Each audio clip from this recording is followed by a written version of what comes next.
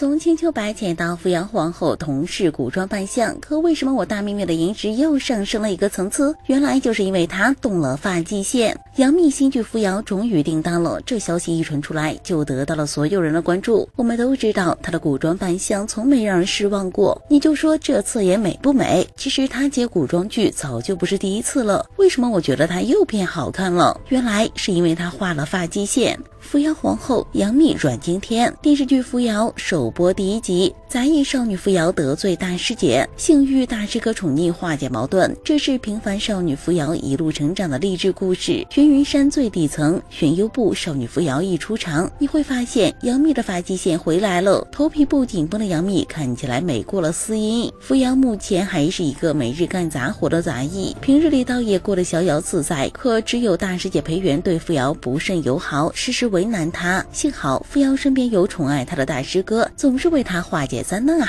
是初恋呢。